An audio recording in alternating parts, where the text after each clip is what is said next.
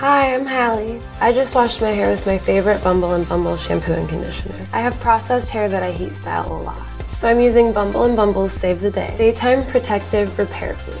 I apply two to three pumps per section.